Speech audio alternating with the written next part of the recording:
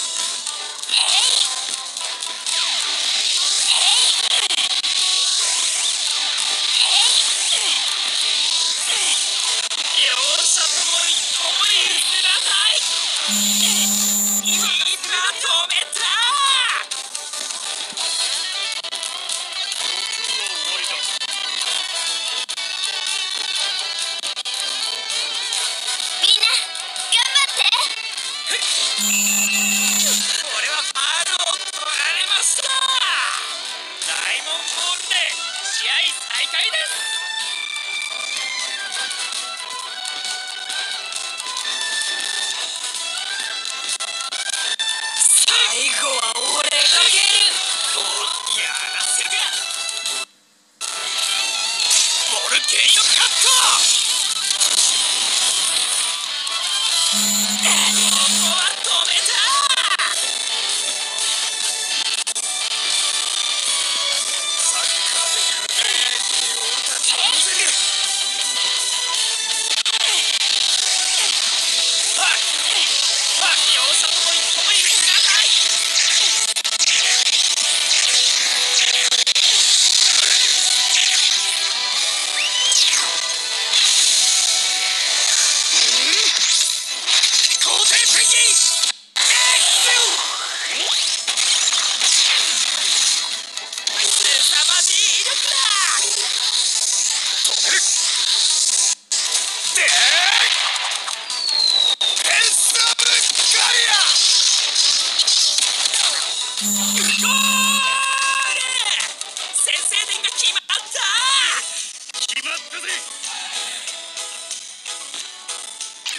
のキックオフで試合再開です。さあ追いつけるか？